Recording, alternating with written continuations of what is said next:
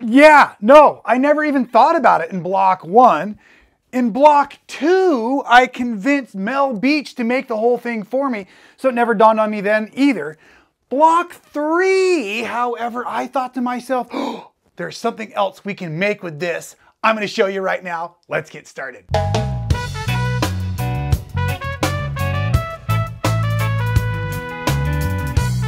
Wait, wait, wait, wait, wait, wait, wait. There's more than something else we can make with what's going on with this, but let me slow down as I'm always caffeinated. Hello, everybody. I am Rob Appell from Michael Miller Fabrics. Welcome to Making It Fun. I am super excited you're here. Today's tutorial is goofing off. It's how to goof off in your studio. Now I touched on this a little while ago. It's gonna be a video based on how I used my design wall and my cell phone, a little bit of technology, to take some photos and really rearrange blocks and give myself a really great idea, both mathematically and visually, what I'm gonna need to make my quilt top. I touched on it a little while ago, but we're gonna spend a bunch of time on it today and I'm gonna show you some tricks. So let me show you where this idea started, because if you've been watching the Peek into Batik, our wonderful Batik Slow along, our block of the month, you know that we have 12 blocks where every center is a different square, a different cool block unit like this, but all of them are gonna finish with these same outside edges. So when we're building these outside edges to make it into a, a star shape, we're gonna be using the same units over and over and over again, and those units are one of these rectangles here, which is a eight and a half by four and a half inch rectangle. And then to make the star points here, we're also adding in two of these four and a half by four and a half inch squares. We're gonna make what is considered to be a if you look at just this unit right here, that's a flying goose, flying geese unit, something like that. But the way we're gonna do it is we're gonna kind of sew on and then cut off the scrap. Today, we're all about the scrap. It's the scrap we're working with to make these awesome half square triangles. And I'm gonna show you with just a few half square triangles how you can design a whole other quilt just using your phone and one of those wonderful little social media apps that we all love. But let's talk about how to build these real quick in case you wanna use this video as your very first start off. You're jumping into quilting point. So what we're gonna do here is I have these two four and a half inch squares. They've already been pre-cut down. Now what I need is one diagonal line drawn from edge to edge. I use a fine tip Sharpie marker for that. It's gonna be a cutting line, so it's not, I'm not worried about it bleeding through. Fine tip so I can just barely see it. Gosh, you can barely see that at all. Let's do it a little bit better.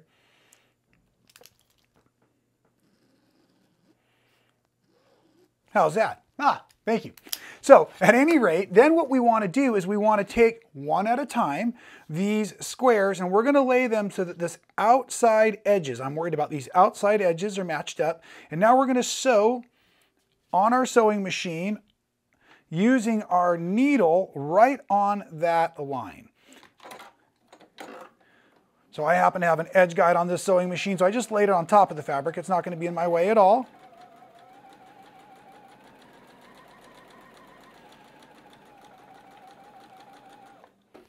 Okay, so after that is stitched on, now what I wanna do first is I wanna trim off the excess. So I'm gonna use the same ruler just to protect my hand. I'm gonna lay it on here, but I'm going to do a quarter inch seam allowance. And because it's this extra part that we're talking about for today's video, this makes the border for the other videos we're doing, right? I want you to make sure you do all of these the same so that you can work better and better as we go. So at any rate, quarter inch seam allowance right off of that drawn line, which was then your sewing line. It is now your marking line.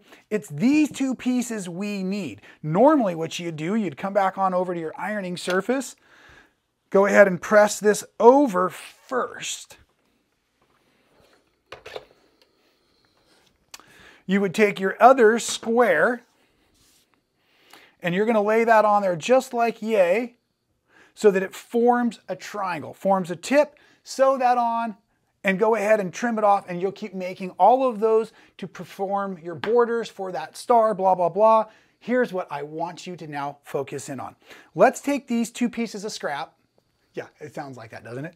And then we're gonna go ahead and sew another quarter inch seam allowance across the bottom now. So I'm just gonna lower my presser foot. The edge guide do the work.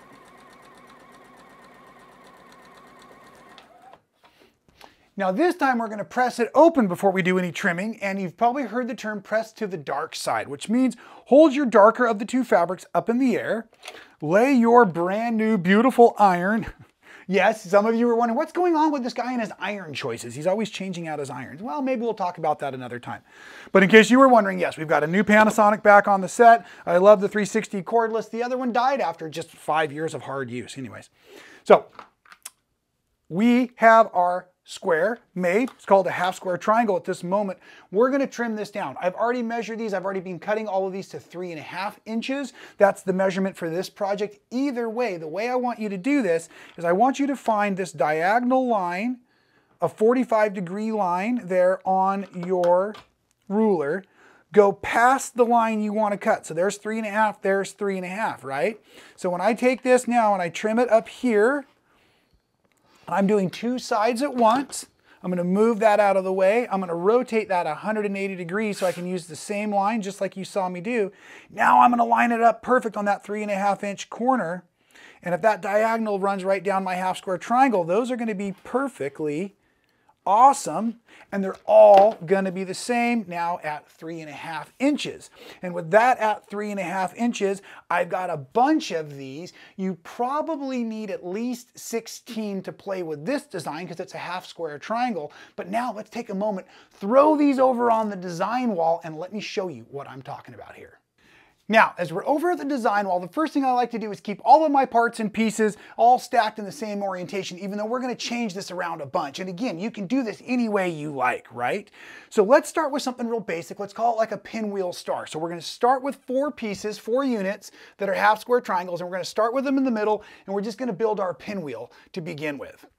Now, I've already trimmed these down, so I wanna make again, we're taking photographs and I want my photos to look as crisp and as square as possible because the cell phone and the little application is gonna do all the hard work for me when I'm done.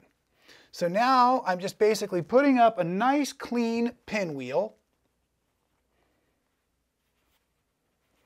So you can see how the black and the blue just kind of chase each other around that way. And then I'm going to go to my cell phone and the first thing I want to do is I want to take a photo. And what I'm going to then do is in my photo settings is I'm going to actually use a uh, square application. Um, once I get it squared, then I zoom in on the block as close as I can to try to get rid of as much of the excess. Let's get a better one there we go, of the excess as possible. Once I have that done, then I go ahead and I open up another app, and this is from Instagram, but you download it separately, and it's called Layout. And you can get it for Android or iPhone. Once you have the um, application open, then you choose the picture or pictures. You can do a bunch. Remember, you could take a bunch of different blocks, photo, I'm sorry, I'm getting ahead of you. So long story short, I choose the picture, then I scroll through all of the different layout options, and here I can pick one that shows uh, roughly 12 blocks of that unit, and now you can see what happens with just that pinwheel. As it goes around here, it makes a pinwheel or broken dishes quilt. So pretty fun. You can even hit save. You can do different edits and different things from there. Let's go back and expand on this idea just a little bit further because we kind of get an idea what that's going to do. Now what we can also do is let's build out in um, a couple of different directions. So I don't know what it's going to look like. I am playing right now. So let's say what would happen if we did this one like this this one like this. And again, this is how I experiment and I play. I enjoy technology, but I have to say that I don't love to spend a ton of time on my computer. I'd much rather spend more time on the sewing machine and on the design wall. So this kind of thing for me is super fun and enjoyable because it's so very tactile. And that's what I like to do. You see how it looks like they're forming out the extra ribbons there as we go? So then what would happen Let's see if I put on here, here, here, and here. And I don't think I like where that's going yet. So maybe what we do is something like this, filling in the blue.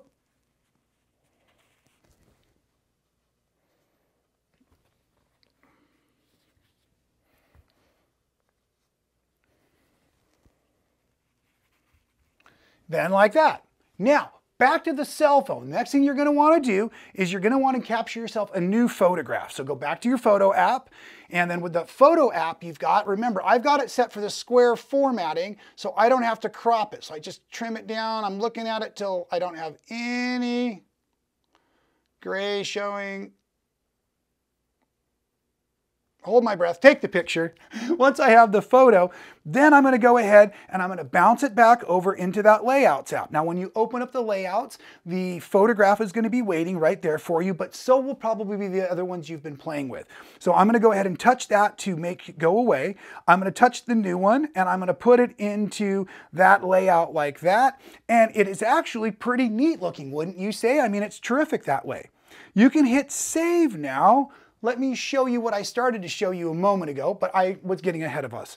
So now that I've saved it, I can go back and I can actually go back one more time, uncheck the original photo from here, and now I can check the photo of the group, the synthetic project, and now I can touch it again. Look at that. And you can see and quickly calculate how many half square triangles you would need to make this really cool quilt that now looks like it has a, like a, a saw blade going on inside. Maybe you don't like that design and you want to say, well, wouldn't it be easier if I just change? And this is where the manipulation becomes very, very quick, right? So the next thing I'm going to do is I'm going to come back over here and maybe I just want to change a couple of them.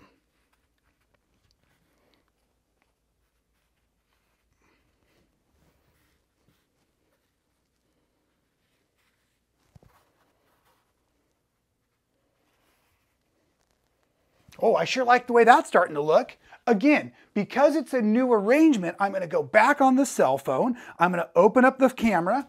I'm gonna try to get it squared. I think my cutting board's in the way, or the ironing board's in the way, don't you? Take that photo again. You know what I'm gonna say. Back over to the uh, Instagram layouts, and then you often have to hit back, and just don't forget to uncheck the original. Now I check this new one, there it is. That's the whole new quilt just by rearranging a few of those blocks. Super, super easy. Now, of course, you know I've been playing with this and playing with this because it's what I really enjoy doing. So now, well, let's just take a moment. Let me bring you in nice and close in here to the cell phone. And let's take another second here and talk about what happens with a few other blocks. So what you can also do now is I could save that one and the other block that we shot a moment ago. Now, as I come on over and pick out that layout, now you'll notice what happens as you look here closely. One of these is already um, changed out, but if I want the other one to change out, I'm gonna switch. You notice if I touch whichever one I touch, it becomes the activated one. Then I can do replace. Once I do replace, technically I come back into the category of all of the images that I've put up, and therefore I can come in and say that. And now I've changed out this quilt, technically making a quilt with the first sample block we made and the second sample block we made, 50% of each. So again, calculations are super, super easy and super, super fun this way. One last little trick I want to share with you here. Let's go ahead real quick and make one more fun block because we can, right? So let's see, let's take something out. Let's make the pinwheel change. Well, we know what'll happen if I do that.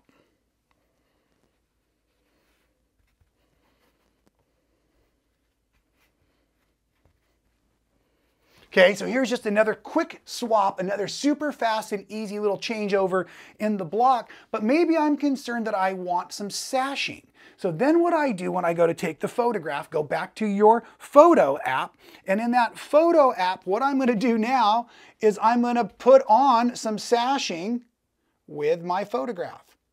So you see how I have it, and I've taken the picture. Oh, it didn't take a very good picture though. Let's do it again.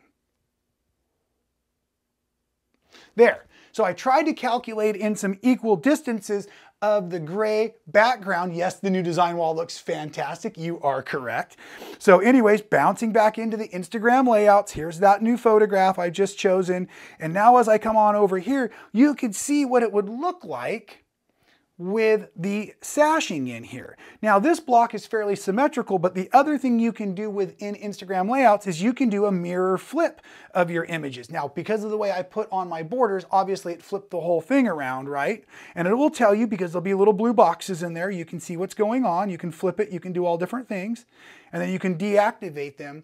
So that's another way you can change the layout or the design of your blocks if you're making non-symmetrical blocks and you want to see, do I want this quarter turned or whatnot as you go through and play. And really, folks, if you're brand new to quilting, that's what this should all be about. It all should be about playing and experimenting and coming up with an idea or seeing a beautiful block that you really want to try yourself and then coming on into your studio and breaking it down and making it happen. You know, I get a lot of questions about the different sizes of the different units I use and or the different ways that I do my layouts and stuff. And for me, I like to sew. It's one of the places I just kind of let my mind go, my hands go. So a lot of times I'll just do a bunch of the same size. I don't even care what size it is. And then I'll start with something like this and I can quickly and effectively make a block and a quilt come together. And I actually had to do this recently for our May quilt release that you will all be seeing very, very soon. And as I was playing with some of my experimental blocks on the table, I thought, hey, all of my friends over at Making It Fun definitely need to know this trick. And I know I touched on it in Karen's shop over at Sew and Save in Racine while Mike and Mike and I were playing in her quilt shop there. But I really wanted to spend a little bit more time for all of you today that like to play with technology and fibers give you this little information. So hopefully that helped. Instagram layouts is my trick that I use on the design wall on the cell phone to get me a head start before I make a fantastic quilt that I can share with all of you right here next time at Making It Fun.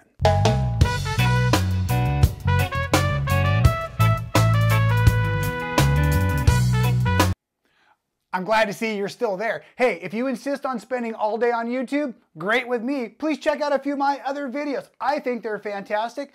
Hit that subscribe button, hit the bell to be notified. We'll see you next time for another helping of fun.